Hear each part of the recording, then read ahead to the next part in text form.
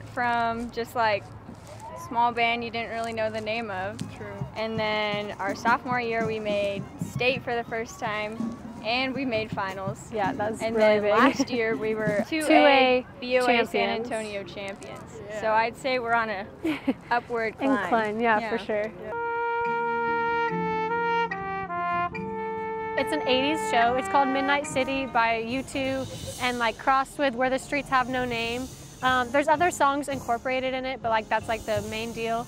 It starts off slow and then it builds up to like rocking out and then the ballad is like a love story kind of deal. And then the traffic jam is like the city part of it, like hectic city and the winds are on whistles. So we're basically just like dancing and blowing whistles, and it's it's really cool.